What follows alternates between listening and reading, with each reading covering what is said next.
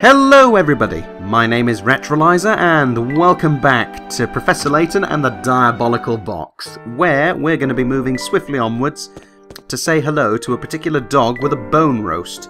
Oh hello there Parcel. Your friendly neighbourhood postman Parcel. Hmm. Believe me kid, I'd love to tell you, but that's a secret between the folks of Folsense and Dropstone. It's not really my place to gossip about their affairs. Fair point. Let's move onwards, since it seems that I've taken the wrong route. Hmm. Is this it? I do believe it is. Take the roast to the little dog called Precious. Oh, hello there, good sir. You're gonna wear your souls out if you keep running around like that, fellows. Rest your feet for a minute while you solve this puzzle of mine. I'd rather you didn't and just left me alone. You've stacked three dice in a column at the points where two... Right, okay. At the points where two dice touch, the faces that are touching add up to five. Hmm. I see. Uh, oh dear.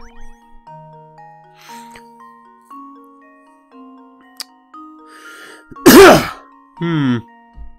Well, let's see. I'm not entirely sure about this. I mean, it would be better if I had myself um, a set of dice. But, sadly, I don't possess any. Oh dear. You've stacked three dice in a column at the points where two dice touch. The faces that are touching add up to five. Okay.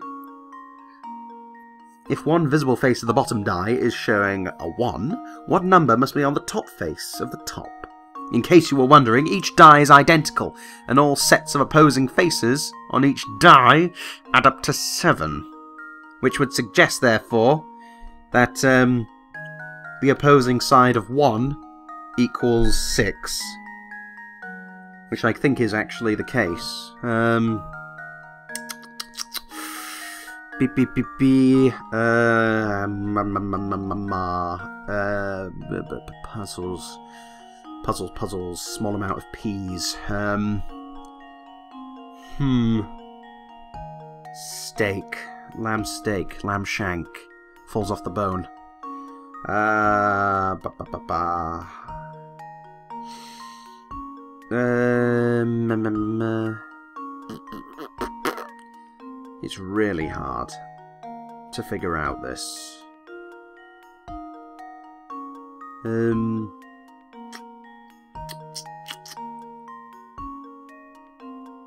Hmm. Well, to be fair, the only thing that I know is that um, it's 1 to 6, so I might as well just start from um, a random end. So let's start with just 6 and um, batter our way through through brute force. And to test my theory. And there we go. A true gentleman leaves no puzzle unsolved. Cool story. No, I did not know the sum of each set. I honestly did not care. I was going to go through each one one at a time. Start from 6, go down to 1. What do you think you're going to find here? Well, um... Oh dear. You get a new hamster toy. Oh, well, that's just grand, I guess. And what, pray... Hello there, youngie. Little doggy doggy. Toss him that beef shank. Oh, you've, uh, you've smelled it? That's right. Holy shit. You fucking serious? Woof woof. Really? Huh. You will forgive me if um, I'm just a little bit annoyed at how much of the fucking roast shank you just gave him. Oh, look. There's one scrap. Could that be? Well, of course it is. It's a piece of the photograph. Alright, only 14 left. Let's go and have a quick chat to this young lady. You make the best pancakes you've ever tasted. Hmm. I see. Oh no. Pancake stacks too! Oh dear. Now here's a tasty puzzle for ye. Your task is to take that big stack of pancakes on the left plate and move them over to the plate on the far right. Ah, yes, welcome to, uh, Nim. I think it's Nim. No, Hanoi, the Towers of Hanoi. Now. Oh dear. There we go. I just need to, uh, sort this out. Wait, there we go. Secret of Nim. There we go. This is the um, this is the classic Towers of Hanoi um, puzzle, And where basically you have yourself um, huge discs in um, descending we have order, stacked on top of each other, and it's essentially just swapping them over. Did you know that you can solve this puzzle in as few as 15 moves? Well, I probably got about 17, so yeah. Your hands move so fast there, it looked like you were juggling those flapjacks. Next time I throw pancakes on the griddle, you're welcome to a heaping help of them. Oh, well then. Meanwhile, I've just got myself two new little things to use for my hamster. Nibbles. Now, we still have much to look forward to. Yes? Hmm, don't worry, Luke. It looks more or less intact. Well, that's just grand, I guess. Now let's keep looking through the, um... Oh, hello there, Katia! Yes, you are Mr. Anderson's daughter. Hello. And what, pray, brings you to Mi- Folsense? Oh, fair enough. Hmm. She most certainly does. Oh? Okay. So there we go. Three people are now looking for the Elysian box. Us, the good Inspector Chelmey, and of course, Katia, for reasons that we don't fully understand. Now, we've not um, got all the scraps yet, but we're working on it. Oh dear.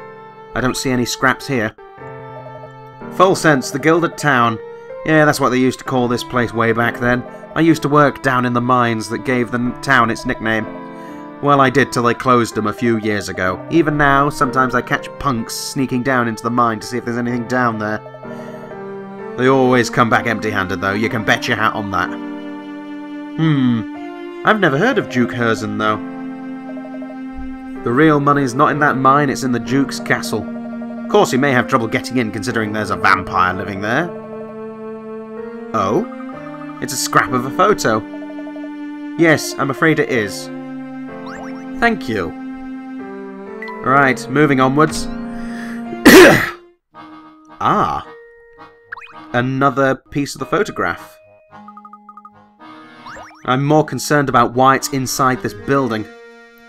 Oh well, let's have a quick look around for hint coins. Hmm. There we go. Anywhere else, or shall we head outside? Head outside. We've still got 10 scraps left. So we're not out of the woods. Hmm. Let's head up the um, other side of this um, particular area. Oh my! There's another shred of the photograph sitting in that pile of rubbish. Watch your footing. It looks quite precarious. Hmm. No, I think he could be just pouring through it for clues, as um, the good professor states. However, we've only got nine scraps of the photograph. That does not um, bode well for us. If we only have that many scraps, where are we supposed to find the rest of them? Hmm. I wonder where, pray, we should look. Here we go. Uh, camera. Oh, yes. Let's see. I wonder.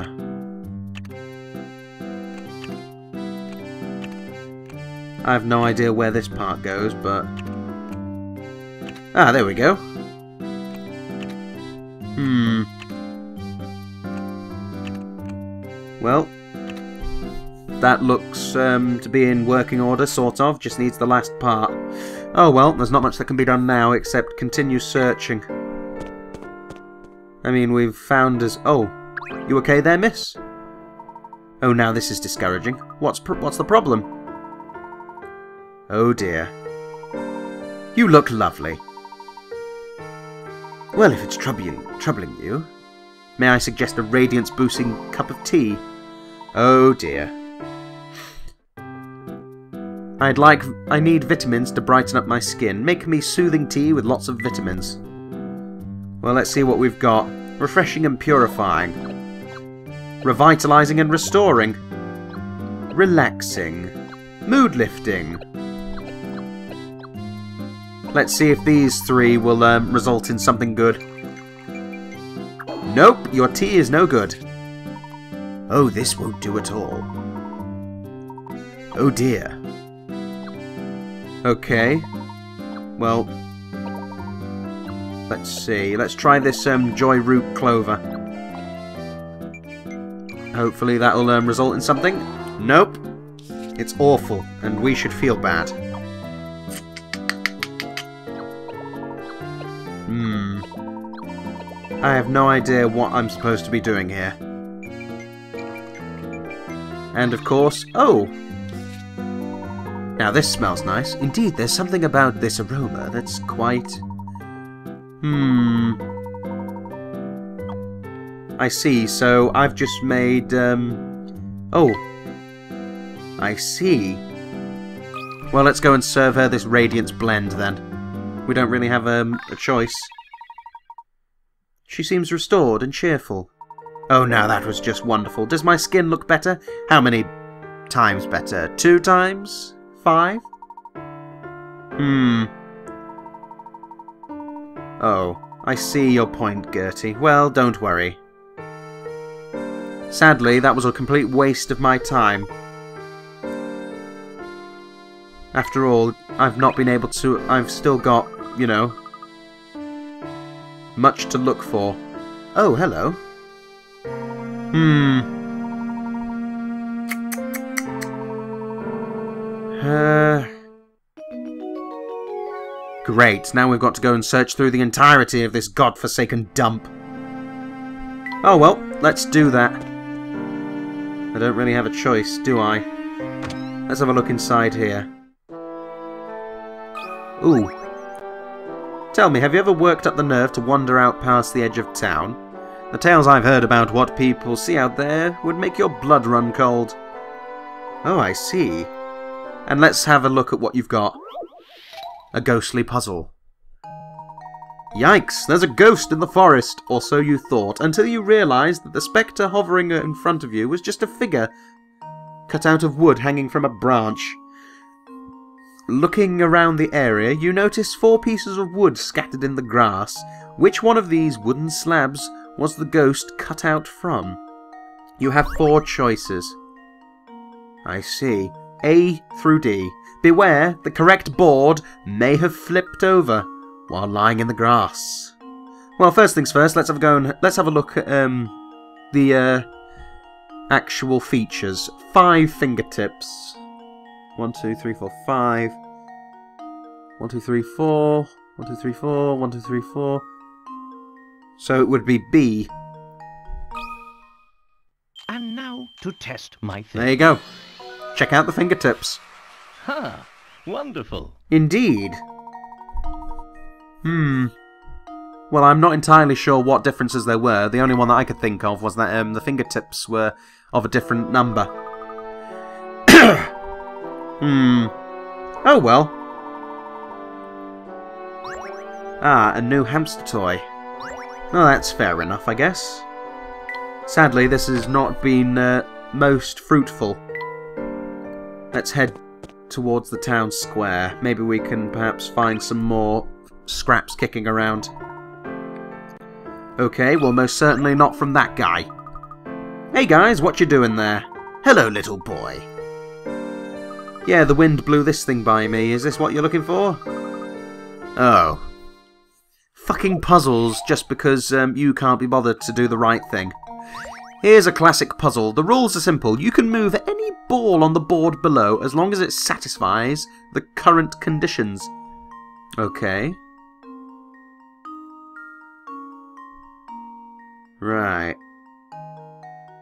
Okay, so this is basically like um, the game of Othello. Let's see. Right, to move, jump your ball, your selected ball over an adjacent space occupied by another. You can't jump diagonally. Okay, fair enough. Well, there's a bit of an issue, you know. Okay. Well, the first issue is to actually um, be able to bloody start. I think I might have um, fucked up. Huh. Disappearing Act 2. Right. No, was this Disappearing Act 1? Well, whatever it is. It's certainly proving, um, tricky. Oh dear. Okay, so... There must be something here. Hmm.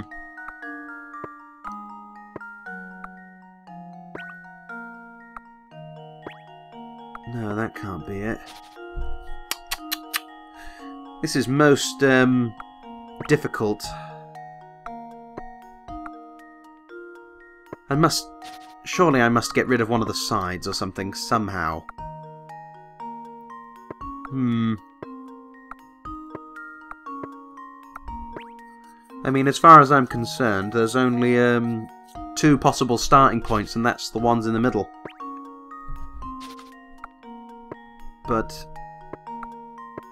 It's it, it's impossible.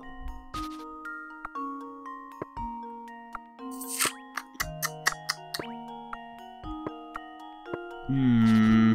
Meh.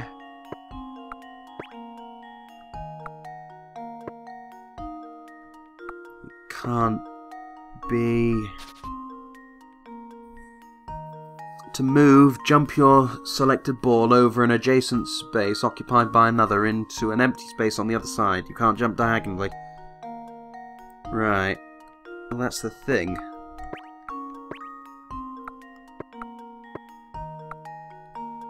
Uh,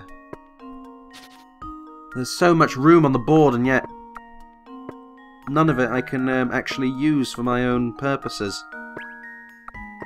I mean, see? Hmm.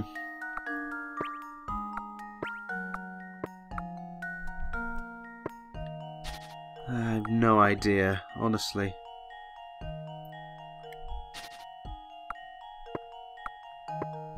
I mean, I can get rid of two, but I can't get rid of the others. That's the problem, and I'm struggling really, really much at this moment. And I must get this, um, this thing. That bloody fragment. Why must they be so cruel to me? Let me see. Um, what about a hint? Make the first of the balls disappear by jumping the ball in the centre. Wait. Oh.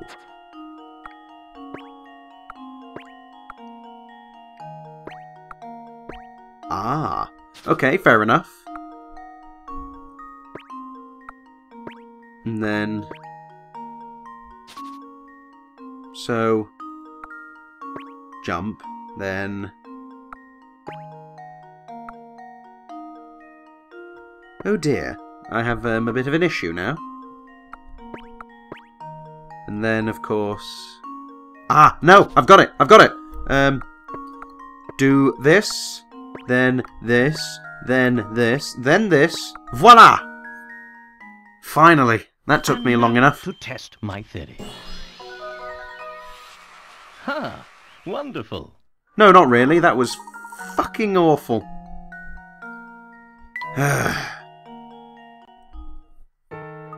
Oh, I get it now. Thanks for your help. Hmm. Well, with that, I'm afraid it is time to go and end it there, ladies and gentlemen, for I have run out of time. But don't worry, I'll be back soon enough. But if you can't wait until then, do please check out the selection boxes on my left, or go to the channel itself. There is plenty more to be seen. Thank you very much once more for watching, and of course, from me, Ta-ta!